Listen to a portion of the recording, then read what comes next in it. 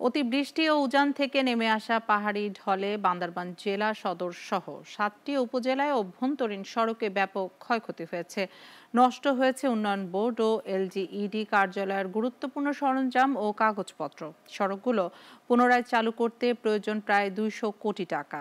বান্দরবান প্রতিনিধি আকাশ মার্মা রিপোর্ট। জানাচ্ছেন সিরাজমনির শুভ।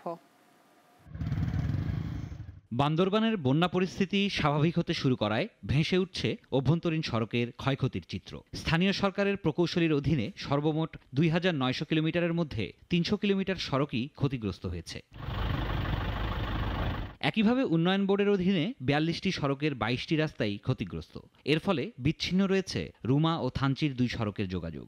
বিপাকে স্থানীয় ব্যবসায়ী, কৃষক ও সাধারণ মানুষ। রাস্তা চলাচলটা যদি স্বাভাবিক সংস্কার করা হয় ওইভাবে আমরা সরকারের কাছে দাবি জানাচ্ছি। এখানে রাস্তাঘাটগুলো সমস্যা হয়ে যাচ্ছে যার কারণে আমরা স্কুল কলেজে যে- যেতে সমস্যা হচ্ছে আমাদের। এখানে অনেক মাটি ভাঙ্গন পড়ে পড়ে গেছে এবং এখানে যাতায়াতের অনেক অনেক অসুবিধা হচ্ছে। ক্ষয়ক্ষতির তালিকা করে পাঠানো হয়েছে বরাদ্দ পেলে দ্রুত কাজ করা হবে। জানালেন সংশ্লিষ্টরা। টেকসইভাবে মেরামত করতে কমপক্ষে আমাদের একশত পঞ্চাশ কোটি টাকার প্রয়োজন হবে।